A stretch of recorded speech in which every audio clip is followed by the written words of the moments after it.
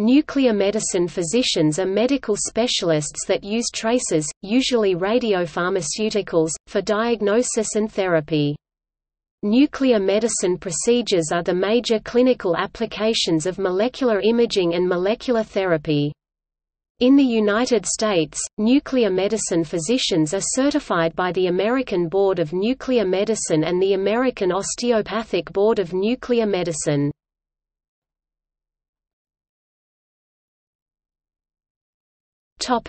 History In 1896, Henri Becquerel discovered radioactivity. It was only a little over a quarter of a century 1925 until the first radioactive tracer study in animals was performed by George de Hevesy, and the next year 1926 the first diagnostic tracer study in humans was performed by Hermann Blumgart and Otto Yens. Some of the earliest applications of radioisotopes were therapy of hematologic malignancies and therapy of both benign and malignant thyroid disease. In the 1950s radioimmunoassay was developed by Solomon Berson and Rosalind Yalow. Dr. Yalow was co-winner of the 1977 Nobel Prize in Physiology or Medicine drive. Berson had already died so was not eligible. Radioimmunoassay was used extensively in clinical medicine but more recently has been largely replaced by non-radioactive methods. In 1950, human imaging of both gamma and positron-emitting radioisotopes was performed. Benedict Cassen's work with a directional probe lead to the development of the first imaging with a rectilinear scanner. Gordon Brownell developed the first positron scanner.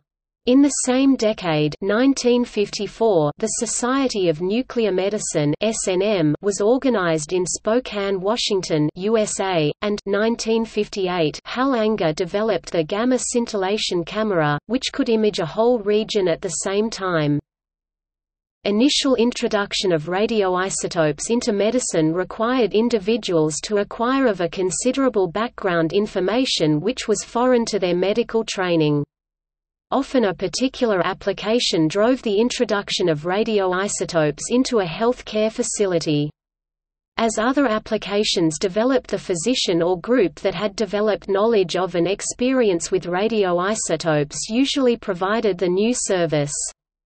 Consequently, the radioisotope service found homes in several established specialties, commonly in radiology due to an interest in imaging, in pathology, clinical pathology due to an interest in radioimmunoassay, and in endocrinology due to the early application of 131I to thyroid disease. Nuclear medicine became widespread and there was a need to develop a new specialty. In the United States, the American Board of Nuclear Medicine was formed in 1972. At that time, the specialty include all of the uses of radioisotopes in medicine, radioimmunoassay, diagnostic imaging, and therapy.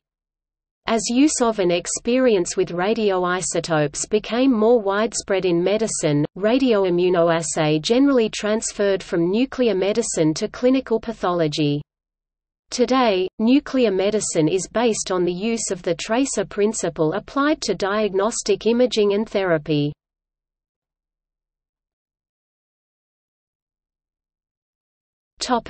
Practice Topic procedures Examples of the most common clinical nuclear medicine procedures are glucose metabolic imaging with 18F-fluorodeoxyglucose (FDG) for cancer, myocardial perfusion imaging for coronary artery disease, and skeletal imaging for both benign and malignant bone disease. Examples of common procedures are brain perfusion and glucose metabolic imaging for seizure and dementia, blood pool imaging for myocardial function and gastrointestinal bleeding, gastric emptying studies for gastroparesis, hepatobiliary imaging for acute cholecystitis and gallbladder dysfunction, lymphoscintigraphy for sentinel lymph node biopsy, parathyroid imaging for hyperparathyroidism, pulmonary perfusion and ventilation imaging for for pulmonary embolism, renal function imaging for various renal disorders, thyroid imaging for hypothyroidism, thyroid whole body imaging for thyroid cancer, urinary tract imaging for vesicoureteral reflux, and white blood cell studies for infection. Examples of uncommon but valuable procedures are octreotide pentetreotide or NETSPOT gallium-68 imaging for somatostatin receptors found on the surface of many tumors, meta-iodobenzylguanidine MIBG imaging for neuroendocrine tumors, heat-damaged red blood cell imaging for identifying ectopic splenic tissue, and gastric mucosa imaging for Meckel's diverticulum especially in pediatrics. Examples of radionuclide therapeutic procedures are 131I treatment of hypothyroidism, 131I treatment of thyroid cancer, and radioimmunotherapy with 90Y ibritumomab tiuxetan and 131I tositumomab therapy of low-grade non-Hodgkin's lymphoma.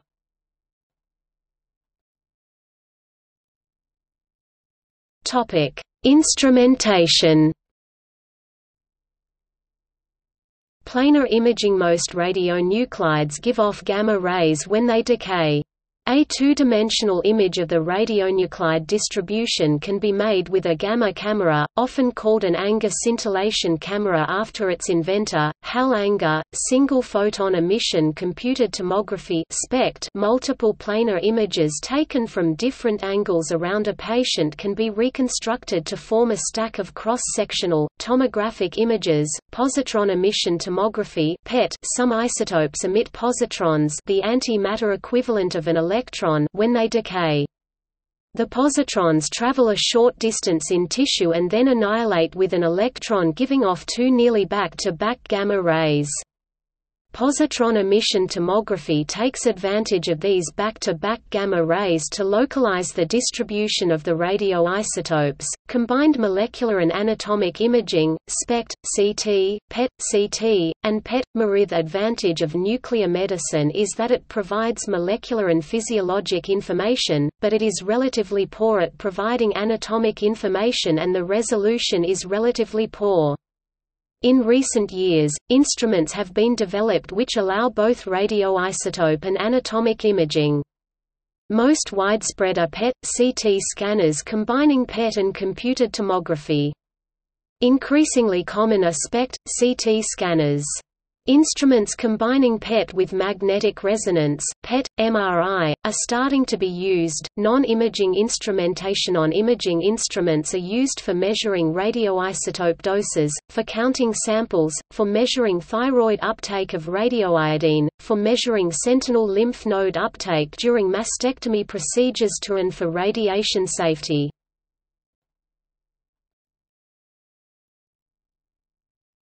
Topic Training In the United States, the Accreditation Council for Graduate Medical Education and the American Osteopathic Association Bureau of Osteopathic Specialists accredit nuclear medicine residency programs, and the American Board of Nuclear Medicine and the American Osteopathic Board of Nuclear Medicine certify nuclear medicine physicians. After completing medical school, a postgraduate clinical year is followed by three years of nuclear medicine residency. A common alternate path for physicians who have completed a radiology residency is a one-year residency in nuclear medicine, leading to sub-specialty certification by the American Board of Radiology. A less common path for physicians who have completed another residency is a two-year residency in nuclear medicine.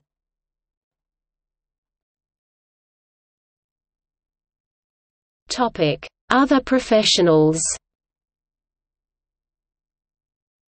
Nuclear medicine procedures are performed by nuclear medicine radiographers, who require extensive training both in underlying principles physics, instrumentation but also in the clinical applications. Nursing support, especially in the hospital setting, is valuable, but may be shared with other services. Nuclear medicine is a technology-embedded specialty depending upon a large number of non-physician professional, including medical physicists, health physicists, radiobiologists, radiochemists, and radiopharmacists. Residency-trained nuclear medicine physicians have the most extensive training and highest level of certification, including all aspects of diagnosis and radionuclide therapy. However, current U.S. regulations do not prohibit other physicians from interpreting nuclear medicine studies and perform radionuclide therapy. Radiologists who are not sub-specialty trained in the specialty, nonetheless often limit their practice to practicing nuclear medicine. Some cardiologists, especially non-invasive cardiologists, will interpret diagnostic cardiology studies including nuclear medicine studies. Radiation oncologists perform all forms of radiation therapy, sometimes including radionuclide therapy. Some endocrinologists treat hyperthyroidism and thyroid cancer with 131I. The mix of physicians rendering nuclear medicine services varies both between different countries and within a single country.